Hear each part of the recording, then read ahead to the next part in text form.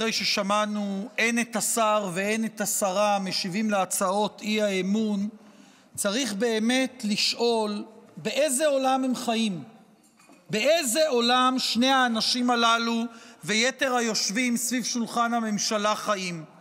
היה מדובר בשני נאומים של אנשים מנותקים של אנשים שחיים באיזושהי בועה דמיונית וככל הנראה הניתוק הזה הוא כשלעצמו סיבה להביא לסיום כהונתה של הממשלה הזאת. שר אוצר שחושב שכלכלת ישראל נמצאת על סיפה של פריצה היסטורית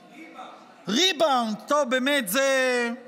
עוד ידובר הרבה במושג הריבאונד במשנתו של השר סמוטריץ' אבל שר אוצר שעיוור לחלוטין לקריסתה של הכלכלה הישראלית ושרה שעסוקה בשירי הלל למדיניות החוץ המזהירה שלנו בעיצומו של צונאמי מדיני כאשר יש לנו שר חוץ שעסוק בלפרסם ציוצים שמציגים ראש ממשלה של מדינה זרה עם ביצה מרוחה על ראשו